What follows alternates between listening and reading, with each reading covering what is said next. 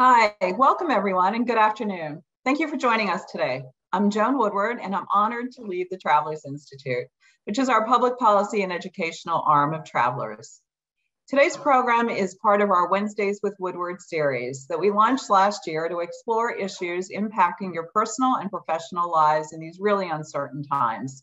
We're pleased you're here with us today. We hope you'll stay engaged. You can do that by joining our mailing list, uh, institute at travelers.com connect with me directly on LinkedIn uh, or watch our webinar replays at thetravelersinstitute.org. So before we get started, I'd like to share our disclaimer about today's webinar. We have a really special program for you today. And as always, we'll save time at the end to answer your questions. So put those questions, submit them through the Q&A function at the bottom of your screen. And you can send anonymously if you don't want me to read your name. But I like to read the names of all my agent and broker friends out there. So um, uh, please put your question in. Don't wait till the last minute till we're at the end of the webinar. Uh, earlier the better. So we're thrilled to be joining our partners today and presenting this program, including the Partnership for New York City and the Duke Margolis Center for Health Policy, led by our speaker today, Dr. Mark McClellan. So a huge thanks to both of these partners for the work they're doing and helping us put these programs on for you. I'm truly honored to welcome our guest, Dr. Mark McClellan, back to our Wednesdays with Woodward series. He first joined us in January of this year, so really just six months ago, and we've asked him to come back to update us on what's happening with the pandemic and the vaccine rollouts. So Dr. McClellan is currently the Robert J. Margolis Professor of Business, Medicine, and Policy and the founding director of the Duke Margolis Center for Health Policy at Duke University. The center draws upon Duke's research, education, and engagement capabilities to help inform policymakers in Washington and around the world to create a better healthcare system. Dr. McClellan is also a member of the board of directors at Johnson & Johnson. Prior to joining the center, Dr. McClellan served as commissioner of the US Food and Drug Administration, the FDA, under President George W. Bush, and thus has really intimate knowledge of what it takes to develop approve, and distribute a new vaccine. In addition, Dr. McClellan is the former administrator of the Center for Medicare and Medicaid Services, which is all of Medicare and Medicaid uh, around the United States. It's a really big job, and probably, I don't know if it was more difficult, Dr. McClellan, than the FDA, but uh, certainly as important. In these roles, he helped to implement major reforms in health policy, including adding the Medicare prescription drug benefit, uh, Medicare and Medicare payment Medicaid payment reforms, uh, and the FDA's Critical Path Initiative, which is the public private initiative to develop better information of quality and cost of healthcare.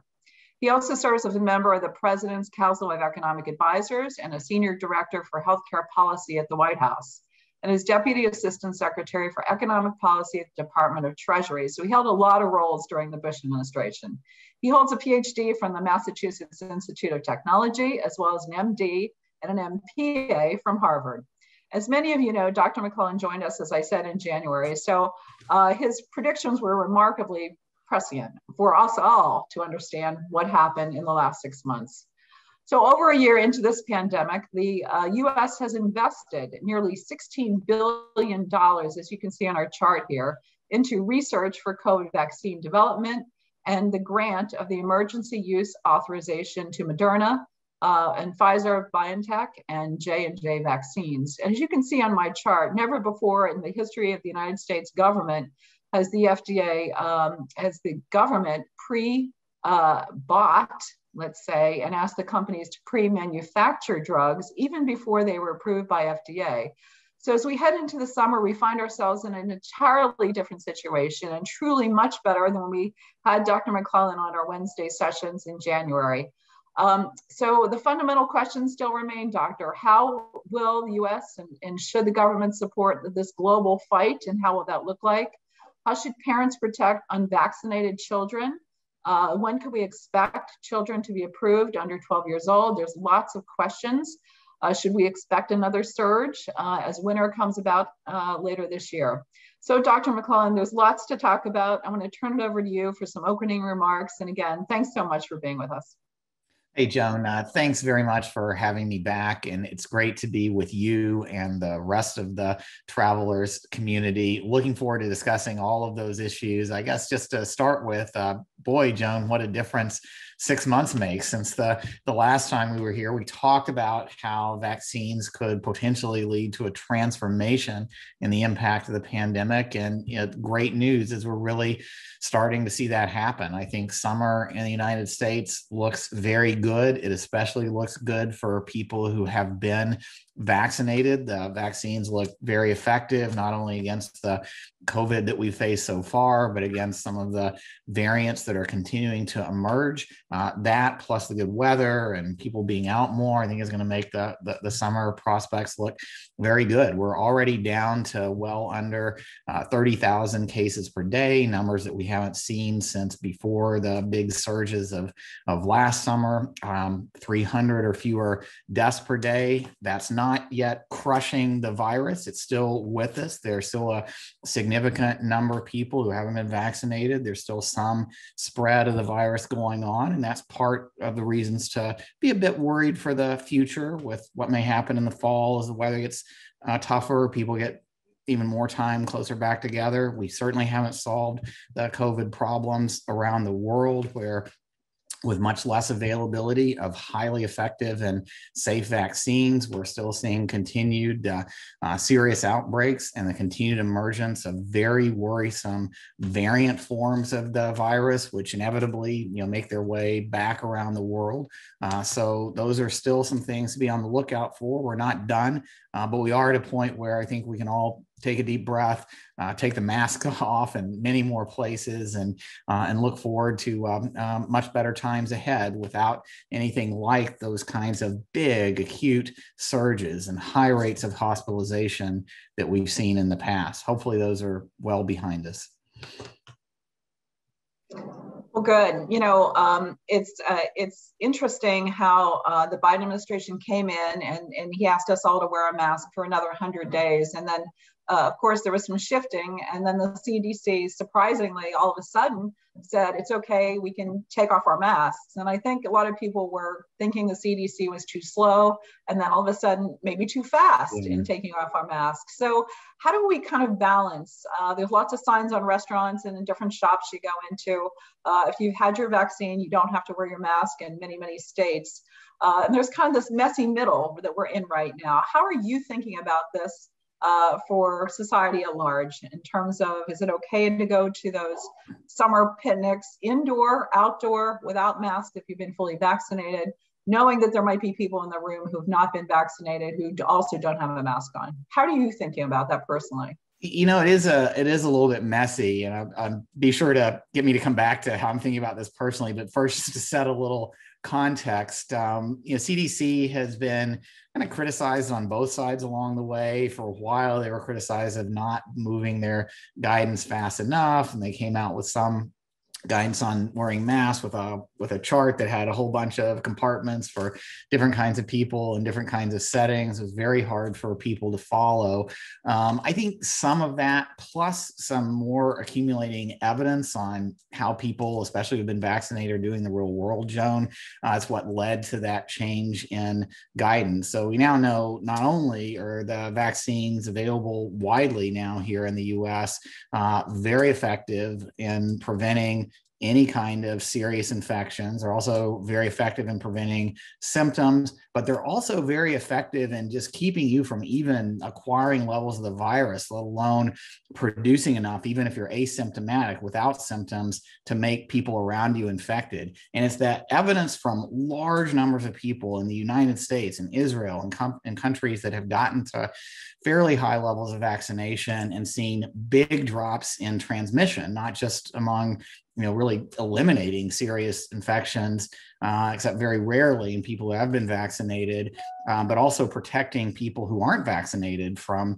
uh, picking up cases from being around them uh, that that's what led to the the change in the CDC guidance, and I think it's it's right. Uh, basically, if you've been fully vaccinated for at least a couple of weeks, the chance that you're going to have an infection that's serious is very very low. It does happen. We have seen a few deaths in nursing homes and and elsewhere among high risk people who have been vaccinated who had so-called breakthrough infections, but it's at very low rates. You know, one per ten or hundred thousand uh, of such. Cases. And, and those cases are getting much rarer because there is so much less transmission.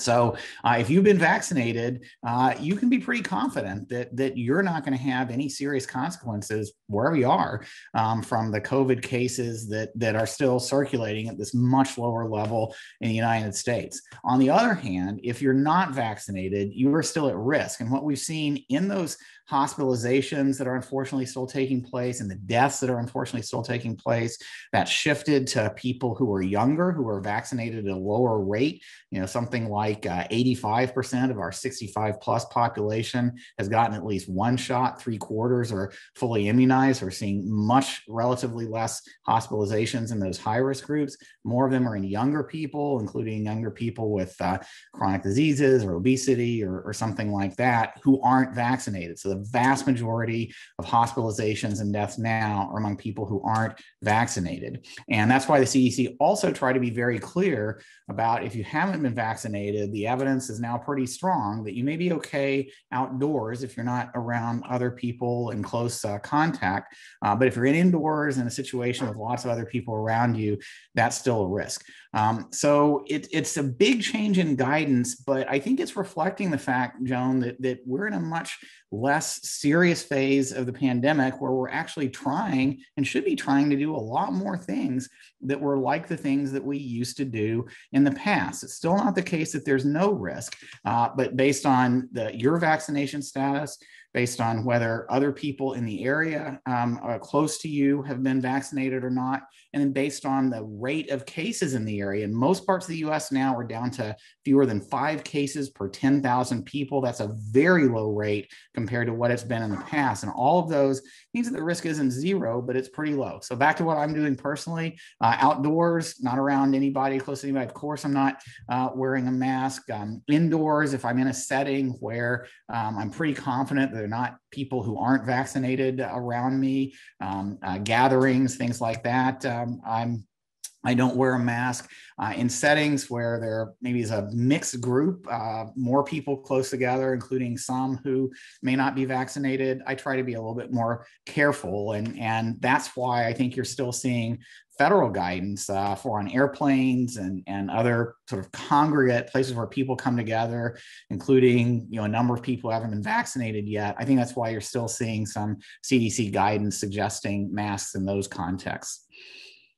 Okay, that's very, very, very good advice for us. And, and thank you for speaking uh, to us about what you're doing personally. I think uh, a lot of us follow the lead of, of people like you and, and others in, in public policy who know what you're doing. So thank you. Um, so, so are these lifting of restrictions here to stay?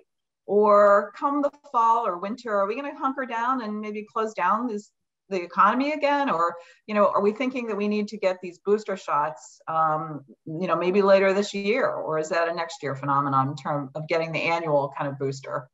Well, I, I think uh, for the short term, the summer looks very good. So I think people should be getting on with their lives. But we are definitely not done with the pandemic. So in the United States, while we've gotten a lot of people vaccinated, over 300 million shots delivered, and especially for people in older age groups, uh, we still have about 64% of adults that have gotten at least one shot. That means 36% who haven't. Now, many of those people are actually immune. Some of the people who haven't gotten vaccinated did get COVID. We've really underestimated the number of uh, total COVID cases in the US. And at least for a while, uh, those people have immunity too. And that's why I think we're seeing you know, very low spread rates in many parts of the country right now. but uh, it doesn't mean that we're beyond the pandemic yet. So I think as a business, you know, paying some attention to things like um, you know, distancing turns out to be a le- bit less important than we thought about. We thought it was early on, uh, because there is a possibility of airborne spread, especially from someone who's not vaccinated um, uh, and uh, uh, and is infected. So uh, air circulation in office, I think is something that everybody should be paying attention to. It's good for reducing risk of COVID uh, now, even though that risk is lower, but also other respiratory infections. You know, again, keeping this culture in place of not coming into work if you've got symptoms or fever or things like that. Um, so not we're not stopping everything. Uh, we're also continuing as a nation to monitor cases around the country, including the variants. Um, one reason the cases haven't gone down even lower with all this vaccination is that the unfortunately the variants we're seeing now they're just more contagious, and and some of them are are, are more um, uh, more serious in terms of the symptoms and complications they cause, and the the variants we were dealing with just a few months ago. Uh, so we have to keep a close eye on that. And we also have to keep a close eye on how well the, the vaccines keep working and how long immunity lasts for people who were infected but haven't been vaccinated. So the government's watching this closely. I expect to see, you know, they're, they're certainly preparing, having enough additional vaccine doses available so that everyone could be vaccinated again if, if need be. Fortunately, the durability of the vaccine so far, including the durability against variant seems to be holding. So, you know, no rush to go off and get a booster now, but people should expect that at some point they may need a, another shot, especially if they're in a, a higher risk group that that you know is more at risk of these serious uh, complications. And then the other thing I watch heading into fall is we had a lot of people who were infected last last summer, last fall, uh, this past winter. Um, we don't think that immunity overall is as good for people who have been infected as it is for people who have gotten shots. So that immunity could start to drop. In fact, in some people at very mild cases, they can get reinfected by a variant. And so that's another reason why we're kind of worried about what could happen uh, in the fall. Um, so I think the most important thing we could do for, for preparation for the fall now, though, Joan, is uh, is keep working on our uh, vaccination outreach uh, efforts. There, there are certainly many Americans who have thought about it and decided pretty clearly they, they don't want it. Um, a few of them are still changing their minds. They see more of this experience as businesses take steps to either incentives or in some cases requirements uh, to, to get vaccinated. Um, uh, but uh, there's still a, a, a, chunk of Americans who think they want to get vaccinated, just haven't gotten around to it yet. May think, well, you know, cases are going down, summer looks good, I'll do it later. I think the more we can get those individuals vaccinated as well, the the safer we're going to be for the long term. Okay, terrific. All right, now we're going to mix it up. For all of you listening in today to us, uh, we're going, they're going to try something new, technology-wise. Hopefully, hopefully it works. So uh, right now on your screen, you should see a window pop up with an audience polling question. Hopefully that happens. And um, so uh, please be honest. Your responses are anonymous. We promise you that. So here's the question. Do you think the economic rebound will be dependent on more people getting vaccinated in order to reach that herd immunity? Yes or no? So, do you think the economic rebound is really dependent on herd immunity?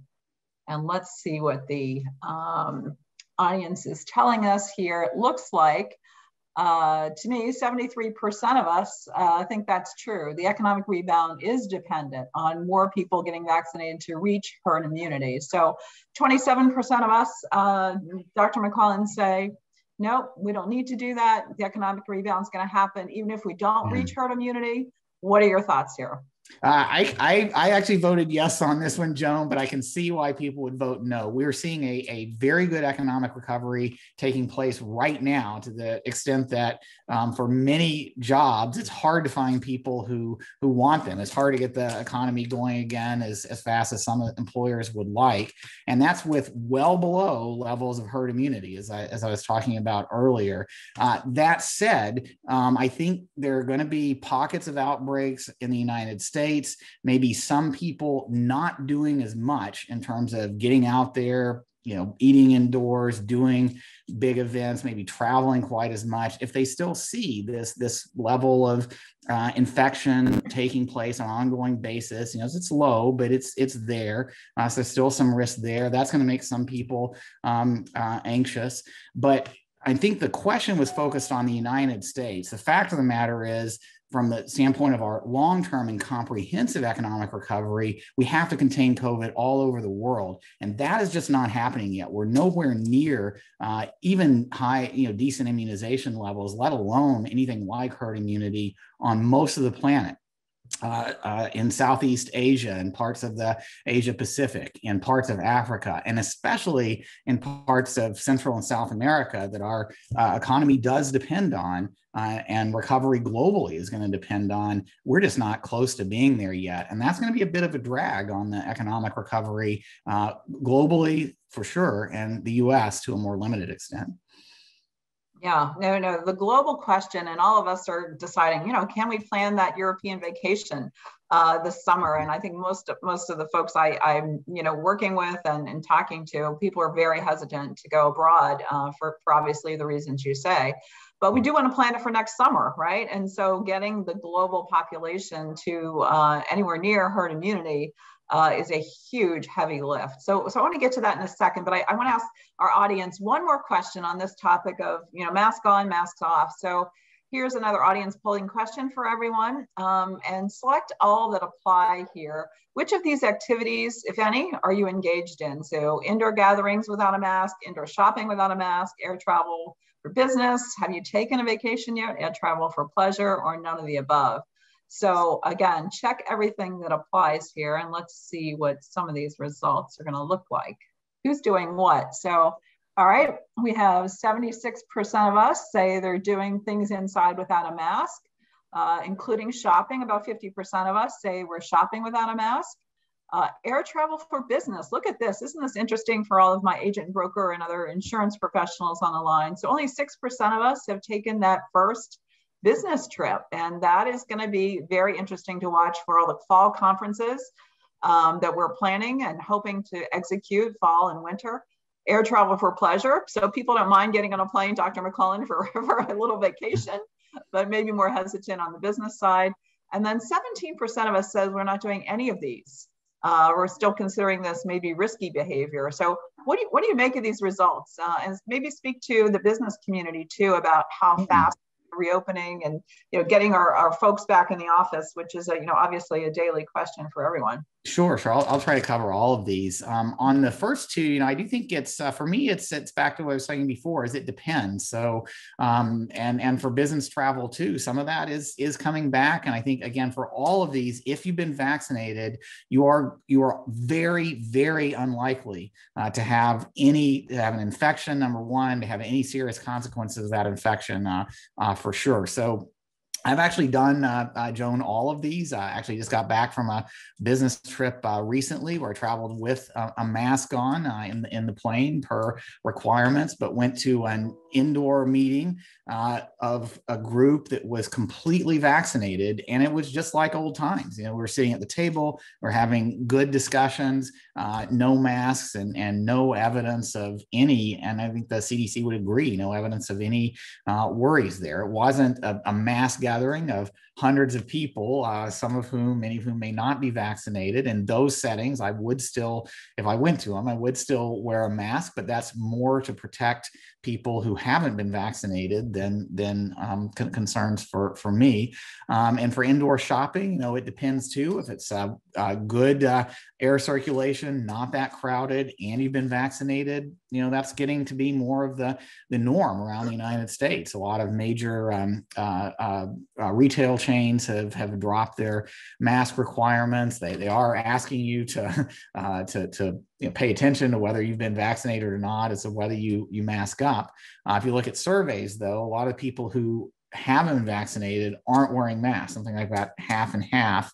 Uh, they're actually the group that's at the, the biggest risk uh, at this stage in the pandemic.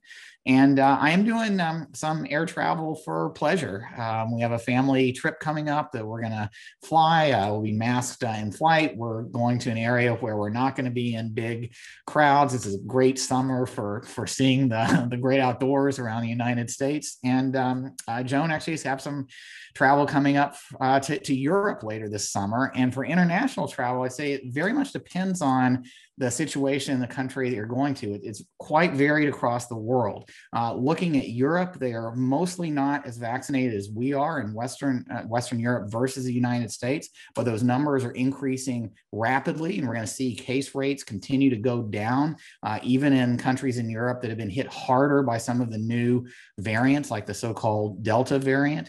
Um, but if you're vaccinated, wearing a mask on the plane and going to some place that, that has a low, very low case rate um, that, that's doing a good job of tracking outbreaks, including even if there's some of the variants there, but I mean, doing a good job of containing outbreaks.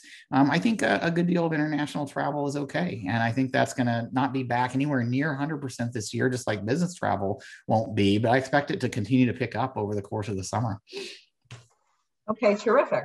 So um, let's talk about children just for a moment. We know that it's been approved, the vaccine's been approved for 12 to 15 year olds trials are underway now for six months to 12 year olds. What's what's the take up rate now for children uh, 12 to 15? Are they out there getting their vaccines? Uh, they are. They're not yet at the rates that we're seeing for adults, but uh, basically, the further down you go the age distribution, the lower the vaccination rate is. Um, but the 12 to 15 year olds are, are catching up. Uh, I'd say that the numbers now, it's hard to get exact numbers, but it's definitely a minority, maybe 15, 20% uh, in that age group that have been vaccinated. Um, many of them, uh, there, there's a push, and we saw an, an increase uh, just in the last couple of the last week or so in that age group. I think related to summer camp starting and summer trips starting where um, if you if you're uh, adolescent and have been vaccinated, you know, same things we're just talking about with masks. Uh, you can you can do a lot more safely uh, without the mask uh, than, than you could otherwise. Um, so I think that number is going to continue to increase. Um, uh, I don't expect most school districts to require vaccination, but to be maybe required in some, strongly encouraged in many uh, as we head into the fall. And Joan, as you mentioned, there are studies underway now for vaccination effectiveness and safety in younger kids under 12 all the way down to six months. Uh, pfizer and moderna have announced that the doses that they're using this is a little bit complicated in that um, kids have quite strong immune responses so they need lower doses not just because they've got a lower body weight but because they can strong you know you want a strong response but not so strong that you get allergic reactions or uh, or avoidable side effects. So people are going to be careful about these dosing studies, and that's going to take a little bit of time to sort out. So I think it's probably going to be some months before we see any clear definitive results and FDA decisions about vaccination in the under 12 um, age group, but I would expect to see some recommendations on vaccination. I think we're going to find doses that are safe and effective for uh, for for kids in that um, age range, um, probably before the end of the year or by the end of the year uh, sort of time frame. Okay, great. Um, let's pivot a little bit and talk about incentives. So states like Ohio are giving you a chance to win a million dollars. Uh, states like Maryland, West Virginia are just giving you a hundred bucks to get your, your vaccine. So do these incentives work? And what lessons can we learn from them? Uh, and a lot of businesses are starting to do this. What is your kind of advice yeah. if you're talking to a CEO who's worried about, you know, getting people back in the office or people are worried about coming back in the office, going on public transport to get to the office is a big concern. Do these incentives actually work? You know they they do work uh, joan. People like uh, free donuts or uh, free uh, uh, free beer with their shot uh, or other gifts. They especially like cash. So the um, some of the financial incentives um, for younger um, people um, um, a chance of winning a, a, savings bond or a free college education. That's great. The lotteries you mentioned a growing number of states are using some of their federal funds actually to support lotteries some people have criticized that, but the evidence is that it does get people's attention. It does help uh, get those people who've maybe been on the edge, you know, they, they think it's okay to get a vaccine, they just haven't taken all the steps to do it yet. Um, it does make a difference. And here, employers really can help. We've done a lot of uh, work at our center at Duke uh, on what uh, steps employers are taking that can uh, support vaccination. Some of it isn't even um, financial incentives or gifts so much as it is the incentive of just reducing the difficulty of getting vaccinated. So, uh, doing a vaccination um, program at work or close to work, there are enough uh, vaccines available now that you can usually work with your local uh, state or local public health authority uh, to find a, a, partnership to do it. There are many community organizations that uh, likely are connected to your employees who could uh, help support an event. We're seeing these happen all over the country in, in partnerships with community organizations um, and with state and local public health, uh, also with pharmacies and healthcare organizations they can set up a clinic. So bring the uh, the vaccines to the, the, the workers is a great way to do it. Uh, make it easy for the workers to get to the vaccines. Um, many employers have offered uh, free transportation or uh, time off from work for the the shot um, plus the, uh, the the recovery period you know the day or so that it might take to to get over the uh, the symptoms in, in, in some people. Uh, right now, uh, for uh, till July 4th, you can actually get a free trip to and from a vaccine via Uber or, or, or Lyft. Um, uh, they're offering free vaccine uh, transportation. It's, all, all you got to do is use the app. They'll tell you they'll tell you how to do it. So just telling employees about how easy it is to get vaccinated, and there is a vaccination site available close to you. You can just text on your phone, uh, get Vax uh, with your zip code. So whatever that sixth letter, I keep forgetting the, the specific six numbers, but get Vax put in your zip code, text it, you'll get a list back just on your phone of, of oh, places wow. where you can get a vaccine um, uh, close by, uh, and then the Uber ride or the Lyft ride if you need transportation. The other things that I think we're going to see employers doing more going forward are uh, maybe um, uh, having some incentives um, uh, or even requirements. So uh, we've seen some of the airlines like United say that for new hires, they have to be vaccinated. And for some healthcare and other organizations, um, uh, including uh, Memorial Baptist in, uh, uh in Houston, um, they're requiring uh, their workers to be vaccinated. Some universities are, are doing that. Um, Duke is doing that for its students, and I wouldn't be surprised if we end up by the fall having a requirement for our, our um, uh, staff and, um, and faculty too. There, there are some federal regulatory issues. You can't just make everyone get vaccinated. You have to account for things like uh, religious uh, preferences and um, medical or, or other, uh, you know, scientifically appropriate reasons why people might not want to be vaccinated.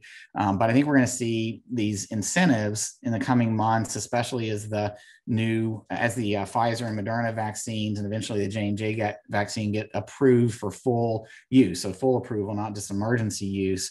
Uh, I think we're going to see more employers um, putting requirements in place. But right now, what really does work is publicizing information, making sure people know there are places they can go to get more information if they've got questions, their healthcare provider, local resource groups, probably people they trust uh, from their community. Uh, and it's uh, very easy, and we've seen lots of great examples of setting up vaccine clinics or connecting people with, with close by vaccine opportunities to make this as easy as possible.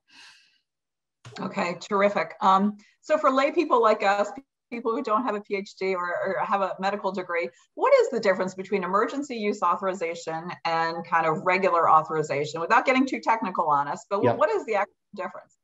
So, in, practically, there's not that much difference when it comes to vaccines. What the emergency use authorization gives FD, FDA the ability to do is, in a public health emergency like this one, uh, it can approve medical products with a with with less comprehensive evidence than the agency might normally require, and that meant that FDA did some faster approvals, especially for treatments for people who are really sick especially earlier on in the pandemic when we didn't have that much to offer them uh, based on quite limited evidence. So, you know, for example, I saw in the chat a couple of questions about, well, what do I do if I'm, uh, if I or somebody I know is immune compromise. And so doesn't have you know isn't unlucky enough not to have a good response to the vaccine. Well those people probably do need to be more careful about where they're going and and also wear a mask for their own uh, protection. But it's also important to remember that we actually have treatments that work now if you get them soon enough after you're infected.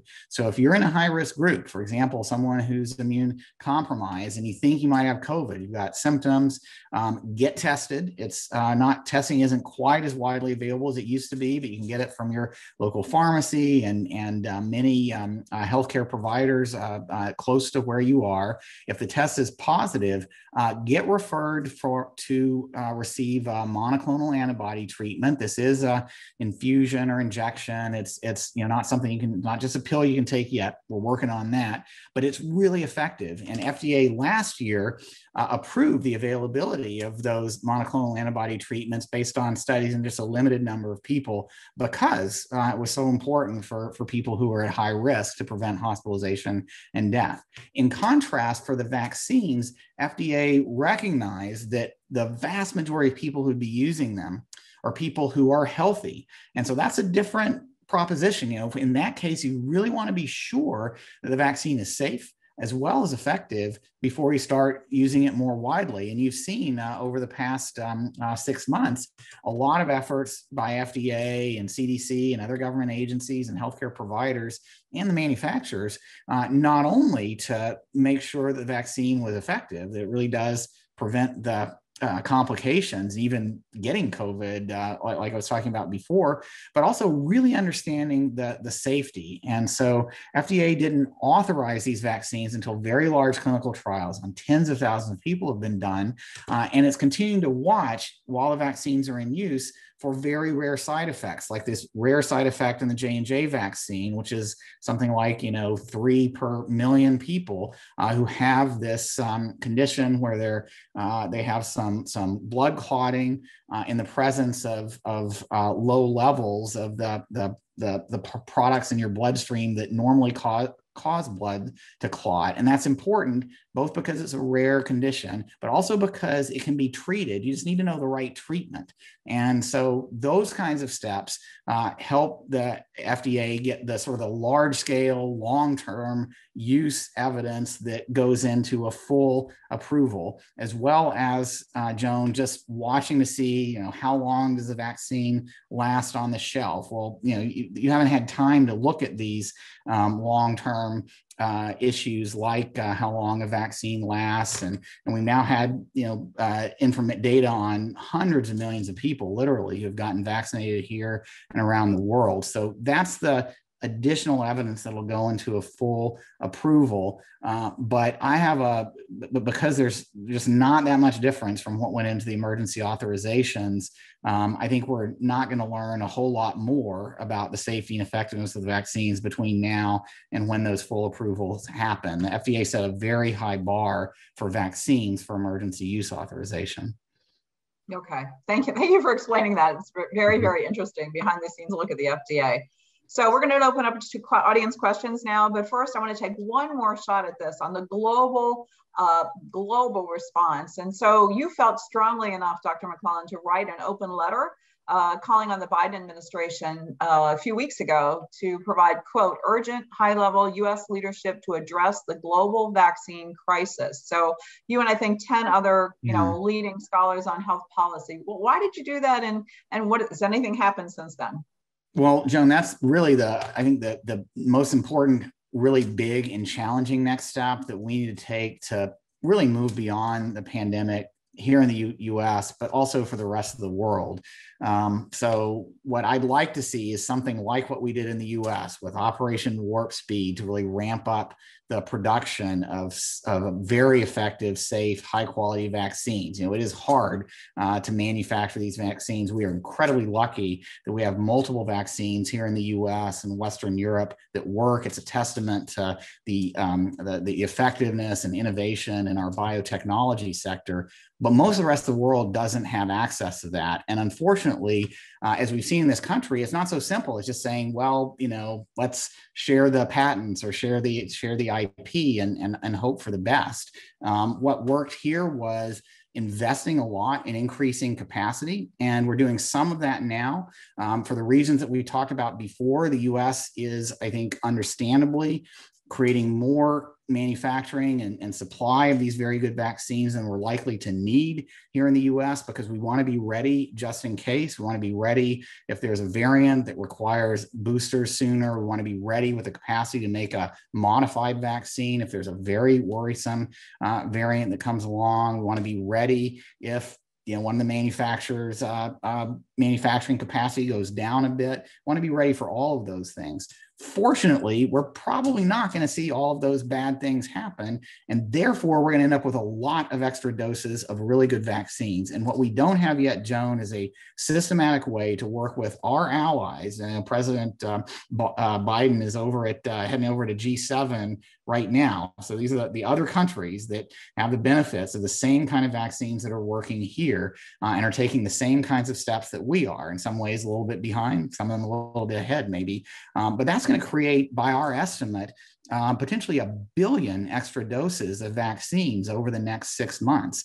And that means we need a real plan to get those shots into arms where they're so badly needed uh, across the world. Um, if we take steps to, to make these vaccine supply available, if we maybe ramp them up, um, J&J, you know, you mentioned I'm on the board, is doing a partnership now that was sponsored by the US government, the government of Australia, with an advanced um, manufacturer in India called BioE that's aiming to have a billion dose production capacity using J&J know-how, you know, working side by side, getting that up and running uh, over the next six months. Vaccine production is complex. You got to do it exactly right, as we've seen with all the issues with, you know, the so-called emergent uh, facility here in the U.S you got to do it right uh, but we can do more of that uh, so steps like that in africa as well with the us government our allies and the the really good vaccine manufacturers working together to increase capacity, um, that could give us the ability to get a large share of people throughout the world vaccinated this year. And looking ahead, um, Joan, I think the good news is globally, we're going to have a glut of vaccines uh, by 2022. We should be able to vaccinate, if we stay on track, uh, everybody uh, who wants to be vaccinated from these high quality vaccines. Pfizer, Moderna, J&J, um, AstraZeneca, uh, Novavax, CureVac, everybody in your chart uh, is ramping up supplies and they have the capacity probably to 11, 12 billion doses uh, in 2022. Um, but we need to accelerate that as much as possible, given the the you know the horrible situation that we've seen in India in the last few weeks and many parts of South America right now. Um, that's all avoidable if we just take the steps that worked here and apply them globally. One other thing I'd mention here that's important is just like we've seen in the U.S., it's not enough to have good vaccines. You have to have a real plan to get those shots out into arms. So you need vaccinators, uh, you need um, uh, distribution programs, and that's hard for some of these vaccines that have to be start, stored at ultra cold uh, temperatures. And the world has never done a vaccination program for adults on this scale. Closest thing was probably polio vaccination, you know, generation or so ago in kids. And so most countries, we've looked and we did a study on this, most countries don't yet have that capacity in place. So we could be in a bad situation in a few months, uh, Joan, where we've got more of these really good vaccine supplies available, but no reliable way to get those shots into arms. We've already seen that happen in a few countries where um, the COVAX, this international collaboration, has distributed some of these good vaccines to countries that weren't actually able to distribute them and, and they either were wasted or they had to be sent back. That's not a solution. And that's the kind of collaborative effort that we called for. The US led an effort like this in the early 2000s when I was in the White House working with President Bush. Uh, the president's emergency plan for AIDS relief uh, brought uh, literally billions of doses of, of medications for AIDS uh, to sub Saharan Africa, Asia, other parts of the world where uh, AIDS was was rampant, despite the fact that we had really effective vaccines that uh, really effective treatments. I'm sorry, had been developed in the U.S. We just didn't have a, a plan to get them in place, and it took U.S. leadership. wasn't It was, it was you know some billions of dollars, but in the scheme of things, it wasn't huge amounts of money when the benefit on the other side is you know, not losing um, millions of lives, not you losing uh, the opportunity for the rest of the world's economies to uh, to recover. So we've got some real work to do there uh, to move past the pandemic globally. Okay, to the audience questions, we have a lot coming in as you see. So let's mm-hmm. try to do rapid fire here. Um, okay. First one coming in from Sarah Rose. You mentioned the mass majority of deaths are people who are not vaccinated. In the clinical trials, we did not see any deaths of people who were fully vaccinated. So, are we starting to see deaths of people who are fully vaccinated in the general population? And what is the outlook for this? Very very rarely. So even a vaccine that is almost perfect as you said had no deaths in the um, clinical trials and tens of thousands of people had uh, rates of just a few percent of people having uh, serious consequences very low rates of hospitalization. Um, there have been a few deaths. There was a nursing home outbreak uh, uh not that long ago in the midwest where um, uh, an unvaccinated workers brought in um, some cases COVID that, that spread to some of the other uh, people in the nursing home. Remember, we're dealing with tougher variants now. They're that are more contagious and and can cause um, uh, more consequences. And there was one death in that case. But the CDC has looked at the total data in the US. We're seeing this in other countries too. Uh, Joan, the rates of that happening are so, so low. Uh, it's down, it's up there with, you know, getting struck by lightning or something like that. And so, you know, there, there's no medicine that's, that's completely perfect, especially for people who are very high risk, but these are about as close as we've ever seen medicine be able to do. And those risks for people who are vaccinated are so low uh, that it shouldn't stand in the way of their um, getting out and, and getting back towards enjoying at least some of their life, as, as we talked about before. I would feel even better, as we said, if, if more people get vaccinated. I mean, there'd be less chance of those cases to spread, less chance for variants to, to, to move around. And that's just going to protect everybody people who are vaccinated, people who are unvaccinated. And especially in areas where there are unvaccinated people, you still need to be careful. Um, some testing, uh, some distancing, some uh, you know air, paying uh, careful attention to air circulation. All of those are, are still good steps to, to reduce risks uh, in indoor higher risk settings. Okay, another question coming in from Marilyn West. Should evidence of vaccinations be required for travel and other purposes, such as return to work? How do you balance this requirement against HIPAA protections? Excellent question. It's a great question, and different countries are going to come out in different places on this, where they have you know different societal approaches to how they deal with um, uh, privacy concerns versus you know social uh, population concerns. So um, uh, if you're in Singapore now, um, uh, the, you, you, they're keeping track of, of where you're going, um, not just to know whether you've been vaccinated and can can do more, uh, but also to continue to be able to track outbreaks and, and things like that.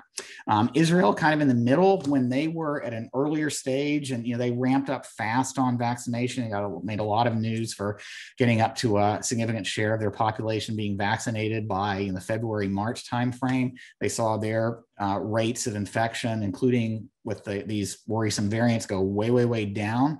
And they had sort of a vaccine pass that they use for a while. This is a, a green or red uh, uh, uh, check you could get on your phones, whether you're vaccinated. And they made the rules different. Um, if you were, you know, back to Joan, what we were talking about earlier, if you were vaccinated and um, you go to a mall, be in crowds, go to a concert uh, with, with really no significant uh, risk associated with it, the risk of, of both spread and the risk of complications is much more in people who are unvaccinated. Well, since then, uh, Israel's seen the, the case rates go way down and they've relaxed those restrictions, even though they didn't get to quite herd immunity, levels. They're at about 60% or so of their um, adult population who's been, their overall population who's been vaccinated. So over 70% of, uh, of adults. And at least for now, in the summer, warm weather, et cetera, uh, that's been enough to keep the infection rates really, really low. And so they're allowing some more flexibility. They're still encouraging masks and people who aren't vaccinated.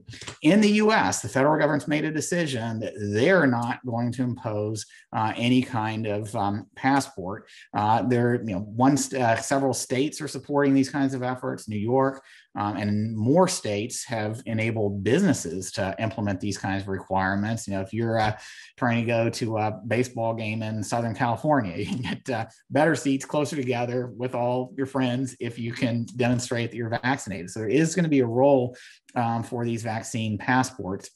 So there's another question about cruises in here. Um, so that's another place where businesses have thought it was good business, at least for many of the cruise ships, to not only vaccinate, require their crews to be vaccinated, uh, but also require all or almost all of their passengers to demonstrate proof of vaccination before getting on the cruise. Because again, makes for a very, uh, very low risk environment. Um, but there are some U.S. states, including Florida, that have have state um, restrictions actually on imposing on businesses imposing any um, mandates about um, uh, vaccine passport use. And basically, the state of Florida said if you're a business, you cannot use uh, these passport approaches that has not wor- worked out yet. So uh, we'll see how the cruises go out of Florida in July. I mean, maybe a live uh, flashpoint uh, for for this issue. Um, I think in in um, from the public health side, um, having these um, programs be available to businesses if they want to use it um, uh, is helpful. It's certainly going to be helpful for you know reopening the the Duke campus and other college campuses with confidence this fall. That's why we're requiring vaccination and proof of vaccination to be on campus. Um, and so I think you're going to see a lot of businesses in that category, but it is it is mixed in the United States. We're definitely using this approach less than other places. One other place you may end up seeing it is in international travel. Uh, if you want to go to Paris, uh, a lot of people missed that over the past year. Um, France just announced, uh, I think today, uh, that uh, they're reopening for foreign visitors if you have proof of vaccination, or you can do the uh, the, the PCR tests and, and, and prove that you're not infected. Okay, uh, a couple other questions here, and I'm very impressed that you can speak and also read the questions in the chat. well, I caught all of them. I need your help. You're sifting through the questions and speaking to another question, so impressive. So uh, there's a couple folks here, uh, anonymous, saying they what are the options for people who got an allergic reaction to that first shot? They feel like they're going to have to wear a mask forever. What do they do if they had the allergic reaction? Uh, to the first shot, and obviously you're not going to. Sounds like they're not going to get the second shot. Uh, talk to your doctor. So there are different levels of allergic reactions. The good thing about allergic reactions is they are very treatable. They they happen right away, and they're very treatable if you're observing carefully. So that's why for everybody who's been vaccinated, you have to wait 15 minutes there just to make sure you're not going to have a very serious anaphylactic shock type reaction. There are a lot of people who have had uh, allergic reactions that are milder than that, and I think for those individuals, it's worth a conversation with your physician about whether there's a way by using um, uh, an antihistamine treatment or another treatment to, to moderate that allergic reaction, you could still go ahead and get vaccinated. Um, the, the number of people who have truly serious enough allergic reactions not to be uh, able to use um, uh, one of the vaccines is very, very low. And another thing to ask is remember that we've got now several different vaccines available. There probably will be more available soon, you know, back to your chart. So important to ask your physician, even if you had a fairly serious allergic reaction to one type of vaccine, we're lucky to have several different kinds of vaccines where you may not have a reaction to the others. Okay, great. Um, so uh, what about uh, people who are pregnant? This has come up a couple different times. Is there a better uh, in, in outcome for individuals in their first trimester, second trimester, or third trimester to get the vaccine? Is there any the, difference? Or? Yeah, the risk of the vaccine looks very low. So we haven't done those same really, really large randomized clinical trials that give us such definitive evidence in other populations. Uh, but from studies of people now, tens of thousands of, of pregnant women who have gotten vaccinated at each stage uh, in their pregnancy. Um, the results look very good. Um, no signs of any um, serious adverse effects, uh, and actually benefits uh, in two ways. One is uh, people who are pregnant and get COVID do have more serious outcomes. And that is actually a threat to early um, uh, labor and, and other complications with the, the pregnancy. Um, and second, the um, antibodies that you make in response to the vaccine uh, are transmitted across the placenta and uh, in uh, breast milk. Uh, and so that does help provide some immunity for um, um uh, your, your infant uh, and, and the baby before it's born. Uh, okay, on the flip side of that question, Nicole Lockwood asked, uh, what about women's fertility? Any negative side effects? Was there any testing done with uh, fertility uh, yeah. after you get the vaccine? None, none that have been detected. The thing about vaccine side effects, Joan, is they can be rare, but it's, I would say, you never want to say never, but almost unheard of that there would be a long-term effect of a vaccine, a side effect of a vaccine that you don't see beginning to show up in the short term. So I talk, you know, most of these reactions are really fast within the first day or two, like the uh, allergic reactions that we talked about. Some of them, um, like that, those very rare reactions to the J and J vaccine with the with the clotting, those happen within the first, you know, six to to fifteen days. You know, so just a couple of within a couple of weeks of vaccination. We haven't seen any evidence on any vaccines of longer term effects um, that didn't show up uh, in these uh, in some form in, in the short term. So uh, I don't know of any evidence to suggest issues with fertility um, from the vaccines at all. Okay, a couple more no, questions. Nor with other other prior vaccines either. right, right, right. Um, I'm going to ask you a question. I'm, I'm, going to give you a minute to think about a big picture question. Then I'm going to ask you a very specific, it's, it's actually an insurance question. So for one of our agents coming in on an insurance and liability question, uh, and I'm going to ask that first, but, but I want you to think about if you were president or if you were able to change one or two things in our current healthcare system of delivery. So whether it's managed care, Medicare, or Medicaid, you know, single payer, um, paying for prescription drugs or vaccines or anything else this tele you know this telemedicine we, have experienced all now through through covid. Um, there's lots of trends out there uh, longer term for healthcare delivery but if you were kind of president and sitting and can wave your magic wand um, what would you think those one or two things are we could change in society so healthcare delivery will be more efficient less less costly you name it I think the most important thing, um, Joan, and this is obviously a longer question, but to me, it's it's changing the way that we pay for healthcare to focus more on value, to focus more on the things that matter most for people. So you mentioned telehealth. We've seen a big shift to telehealth, but what's really mattered isn't just telehealth by itself, but telehealth combined with data that that people can track on their own, you know, using digital trackers about how their own health is doing. Especially if you've got a chronic disease, you can be much more in charge of your health too, and you can work more effectively with your, your doctor if, if you all are sharing that data, um, uh, getting um, uh, using remote monitoring from home, using team-based approaches of care, including things like, hey, if it's the most effective thing for your health, um, I'd love to see more health plans covering those, you know, those tri- trips to the uh, getting a vaccine. Um, some of the healthcare organizations that are into this value-based care approach are also doing things like reaching out to their beneficiaries who haven't gotten vaccinated yet, finding out what their questions are. So their question about hesitancy, it's uh, for many people, it's it's just you know this happened too fast. Is this really safe? Is this really effective?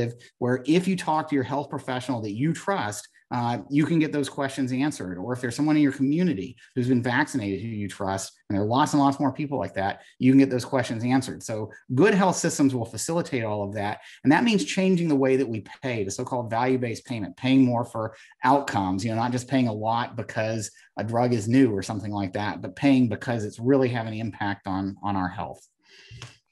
Okay, fantastic. We're going to end with an insurance question. So, do you see uh, a legal liability for larger venues as they reopen? So, stadiums, concert halls, bars, if you will.